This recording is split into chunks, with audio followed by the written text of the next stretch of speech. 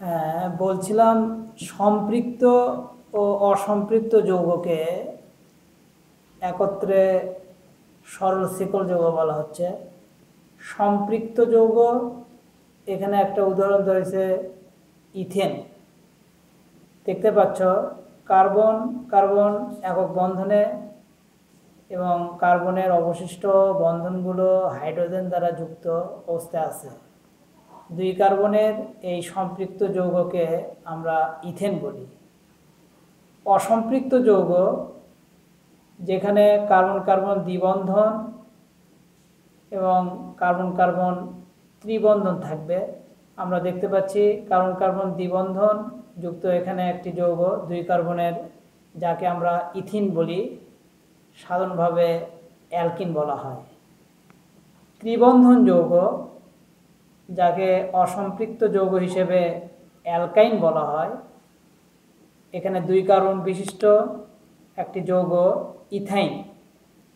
Carbon carbon ত্রিবন্ধন যুক্ত কার্বনের অবশিষ্ট বন্ধন হাইড্রোজেন দ্বারা যুক্ত আছে, এটাকে ইথাইন বলা হয়। এটা আরেকটি নাম, অ্যাসিটিলিন।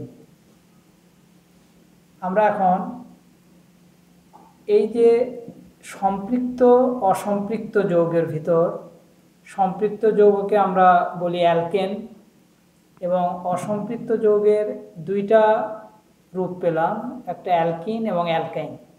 এই যে অ্যালকেন, অ্যালকিন এবং অ্যালকাইন, এই তিনটি বিষয় সম্পর্কে একটু জানার চেষ্টা করি। অ্যালকেন, যেখানে কার্বন কার্বন একক বন্ধনে অবস্থান করে অ্যালকিন, কার্বন কার্বন দ্বিবন্ধন এবং কার্বন কার্বন ত্রিবন্ধন যুক্ত থাকে। শুধু দুই কার্বনের মধ্যেই কিন্তু সীমাবদ্ধ থাকে না, এগুলো অসংখ্য যৌগ হতে পারে। ত্রি, তিন কার্বন, চার কার্বন, এরকম।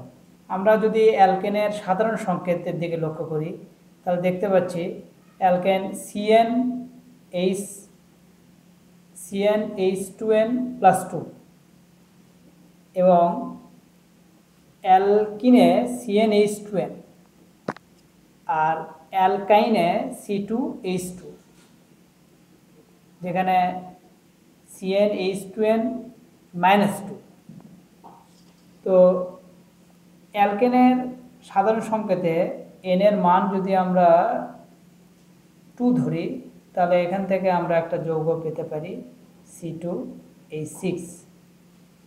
এবং অ্যালকিনের ক্ষেত্রে আমরা সি টু এইচ ফোর পাব এবং একইভাবে অ্যালকাইনের ক্ষেত্রে এনের মান টু ধরলে সি টু এইচ টু যেটা এখানে আমরা দেখতেছি ইথাইন। অ্যালকিনের ক্ষেত্রে ইথিন এবং অ্যালকেনের ক্ষেত্রে ইথেন। এভাবে যদি আমরা তিন কার্বন হিসেবে অ্যালকেন বলি, সেটার নাম হবে প্রোপেন। তিন কার্বন বিশিষ্ট অ্যালকিন বললে তার নাম হবে প্রোপিন এবং চার সরি তিন কার্বন বিশিষ্ট যদি আমরা এটা অ্যালকাইন হিসেবে বলতে চাই, তাহলে তার নাম হবে প্রোপাইন। এইভাবে কার্বন সংখ্যা যদি চার হয়, অ্যালকেন ফর্মে তার নাম হবে বিউটেন অ্যালকিনে ফর্মে এটার নাম হবে বিউটিন। এটা অ্যালকাইন ফর্মের নাম হবে বিউটাইন। এখানে যৌগগুলো লক্ষ্য করছ।